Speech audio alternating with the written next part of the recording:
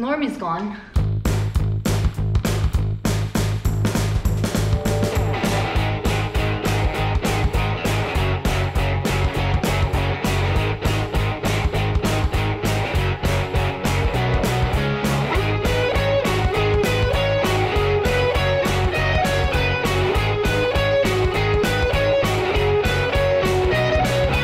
But I have another interesting day, so I'm gonna keep vlogging.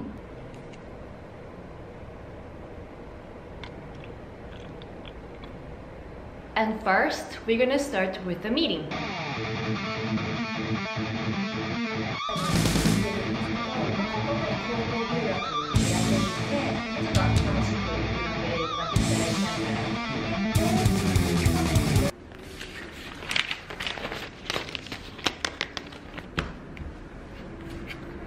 So, the meeting's done. And uh, let me give you a little bit of summary what just happened. I got this office in March and this was my first goal. But I want to be bigger than this. So, I have been doing this meeting things from last month, two months ago actually, two months ago, and uh, tried to reach the next goal.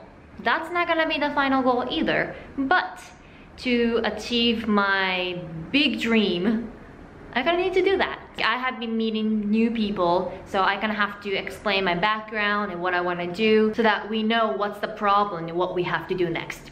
So yeah, exciting.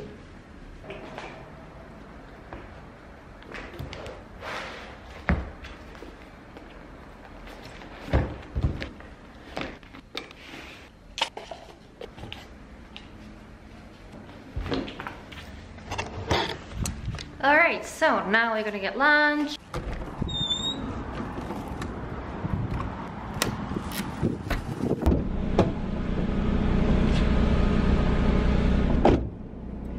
So now we're gonna go to a place called Urban Design Center. Uh, I know this place because I did a little bit of uh, like a like narration job before, but uh, never seen that place.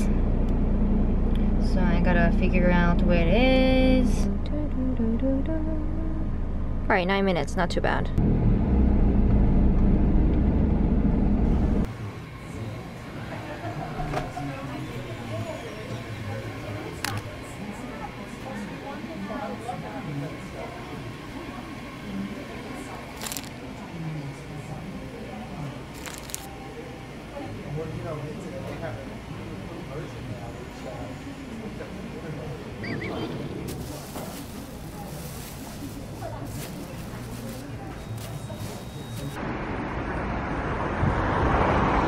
So slow. That's where I'm going. So the concept of the Urban Design Center is that it's in the middle of the city. Uh, it's kind of dangerous though. There are cars everywhere. But uh, they had a project a couple years ago that they wanted to build a nice like park for kids and this is what they did.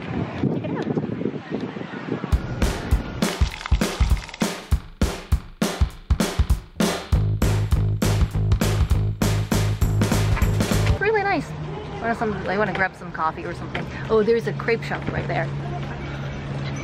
Check it out. Oh, there's a car.